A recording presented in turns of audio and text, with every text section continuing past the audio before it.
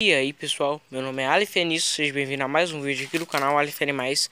Bem pessoal, no vídeo de hoje eu vou falar para vocês se pode colocar ovo de duas gemas para chocar sim ou não.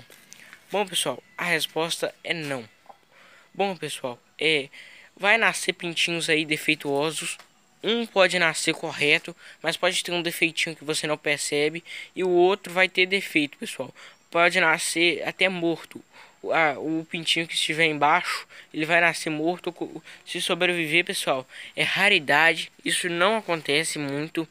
É, então, não coloque ovo de duas gemas para chocar. Então foi esse o vídeo de hoje, espero que vocês tenham gostado. Fui!